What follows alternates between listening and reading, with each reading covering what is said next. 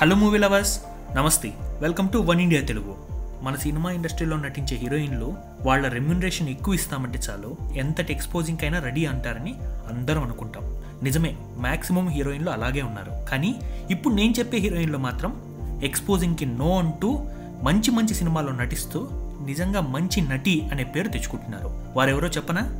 ఇంకా అలాంటి వాళ్ళు ఈ కాలంలో ఉన్నారనుకుంటున్నారా? ఉన్నారు. ముఖ్యంగా ముగ్గురు. మొదటగా నిత్యామీనన్. అవును పొట్టిగా ఉంటే హీరోయిన్ అవ్వరని ఏం లేదు కదా? నిత్యామెనన్ పొట్టిగా ఉన్నా తన అభినయం కానీ తన ఓన్ డబ్బింగ్ కానీ తను ఎంచుకునే క్యారెక్టర్లు కానీ అన్నీ చాలా బాగుంటాయి. ఎక్స్పోజింగ్కి ఎప్పుడు నో అని చెప్తుంది నిత్యామెనన్ రెండో హీరోయిన్ సాయి పల్లవి. అవును సాయి పల్లవి అంటే మనకి చాలా సినిమాలు గుర్తొస్తాయి. తన నటన కానీ తన ఓన్ డబ్బింగ్ కానీ తన డ్యాన్స్ కానీ చాలామంది ఫిదా అయిపోయారు. అయితే ఈ అమ్మాయి కూడా ఎక్స్పోజింగ్కి నో అంటుందట. ఎంత రెమ్యునరేషన్ ఇచ్చినా కూడా ఎక్స్పోజింగ్ ఉంటే మాత్రం ఆ సినిమాకి సైన్ కూడా చేయదట. ఇంకా మూడో హీరోయిన్ కీర్తి సురేష్. అవును కీర్తి సురేష్ కూడా అంతే. మహానటి సినిమాతో నిజంగానే మహానటి అంత నటి అని గుర్తింపు తెచ్చుకున్న కీర్తి సురేష్ కూడా ఎక్స్పోజింగ్కి నో అని చెప్తుందట.